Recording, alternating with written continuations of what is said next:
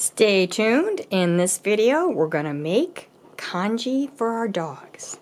Perfect for upset bellies. It's going to happen when you least expect it, diarrhea. Today I'm going to show you how I make Dexter's doggy congee and then I freeze it into small portions for whenever that diarrhea happens. It's about being prepared for the runs. But first, I do want to talk a little bit about when your dog does have diarrhea. There are times when you want to go to the vet instead of trying to treat at home. I do have a link to an article I wrote with a vet in the description below that covers some of the top reasons why you should see a vet with your dog instead of trying to treat your dog's diarrhea at home. So please check that out. And when in doubt, when you're dealing with your dog's health, go see the vet. Don't self-medicate.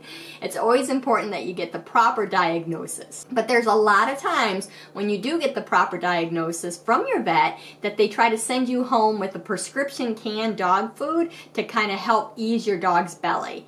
That's definitely an option. When I look at those ingredients, they're not something that I feel comfortable giving Dexter. So instead, I have this dog congee recipe.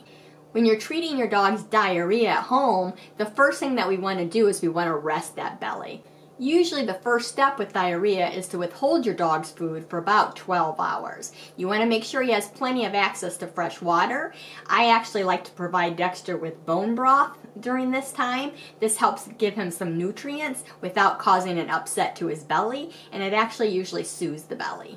Once your dog is ready to start eating some food, congee is like a gruel and like a porridge. So it's broken down food so that it's going to be easier for your dog to digest. If you're a kibble feeder, that's going to be highly processed and it's really hard for your dog to digest, especially if he's trying to deal with an upset belly. And with our congee recipe, we're going to be working with low-fat foods. So what you'll find out is I actually use turkey instead of ground hamburger because turkey is a much leaner meat. Once again, please seek the help of your dog's vet before you try to do anything on your own. So Let's sneak into Dexter's kitchen and get this congee going. So this is going to be a pretty easy recipe to make. It will take some time to cook because what we want to do is we want to really break down this food so that it's easier for our dogs to digest, especially when they have those upset bellies. I'm going to start with two cups of quick cook steel oats or you can use traditional steel cut oats. The quick oats have already been broken down a little more so that will help with the digestion too. So either is fine but the important thing to remember, we always want to look at that ingredient label. So even if you're grabbing a bag or a, a container of steel cut oats, you might think that's all it is. Well, you flip it over and you read that panel and sometimes there's other things inside of it. So these are organic and there wasn't anything else inside. So remember, flip that over. So we're going to take our two cups, we're going to put it in our slow cooker. You gotta love these slow cooker recipes. The other two ingredients that we're going to use, but not yet, is we're going to use two cups of pureed pumpkin. And again, we want to flip over that, that label to read it to make sure that it's just pure pumpkin, that it doesn't have any other spices or sugars. This is approximately two cups. It's a 15 ounce can. If you want to use fresh whole pumpkin, the meat portion, not the shell, then go ahead and, and put that in there now. So you're going to want to have your whole pumpkin, if you choose to use that, cut up into tiny little pieces, about two cups, and you're going to put that in your slow cooker now. But if you're using the canned pumpkin, you're going to save that for later. The other thing that I'll be adding at the end is I have two tablespoons of freshly grated ginger. If you don't have fresh ginger, you can use half of a teaspoon of ground ginger. And again, we're gonna save that for later. Into the oats, you're gonna add 10 cups of filtered water.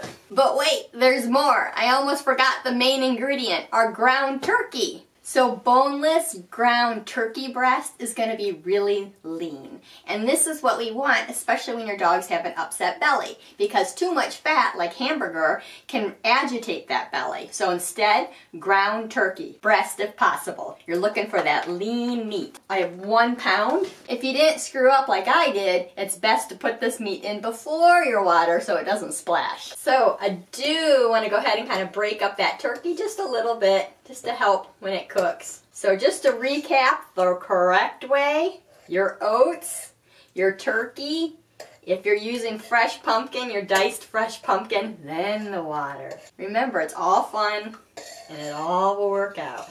So the next step is I'm going to put it in my slow cooker, turn it on high, and I'm going to bring it to a boil. And once it comes to a boil, then I'm going to reduce that heat to simmer until I get a nice porridgey consistency. Remember, we want to break everything down. So now that everything's cooked down, I'm going to add the pumpkin and I'm going to add the ginger. Pretty simple. We're just going to toss that in there. That was a fresh ground ginger and our pumpkin. Toss that in there. I want to stir this and combine it really well. This is a lot. This recipe is quite large. As you can see, once everything cooked down, it almost has this whole slow cooker filled. So if you only have one dog, you might want to cut the recipe in half or cut the recipe in a fourth. I'm actually going to be sharing this with one of my dog training students. So that's why I went ahead and, and made a nice big batch. The other thing is, for me, if I haven't gone through my congee, meaning it's in Dexter's freezer and he hasn't eaten it all because he hasn't had belly aches, I will toss out old batches and make new batches. So it's not sitting in there for years and years. So this is the consistency that you'll get. For Dexter's recipe, it ended up being on high for about two hours, and then it was on low, the low simmer, for another four hours. And throughout that time, I did check on it, and I did give it a nice stir so that there wasn't going to be any burning or sticking on the bottom. After I turned it off, I did let it cool on the counter for maybe two hours, and then I placed it in the refrigerator overnight to fully cool down. Once everything's stirred together, I'm going to put it in different molds put it in Dexter's freezer, let them fully freeze, and once they're fully frozen, I'm actually going to pop them out of the molds and then put them in another storage container and put them in Dexter's freezer. And then they'll be ready to go. Anytime Dexter has diarrhea or an upset belly, I can just thaw one of these cubes. So if you thought this video was helpful, go ahead and give us a thumbs up. You can subscribe to the channel and click that bell icon and you'll be notified every time I upload a new video. And if you want to dive deeper into your dog's behavior, training, and care, check out my Patreon page. The link is below. Until next time, remember to pause and enjoy life, and we'll see you in the next video.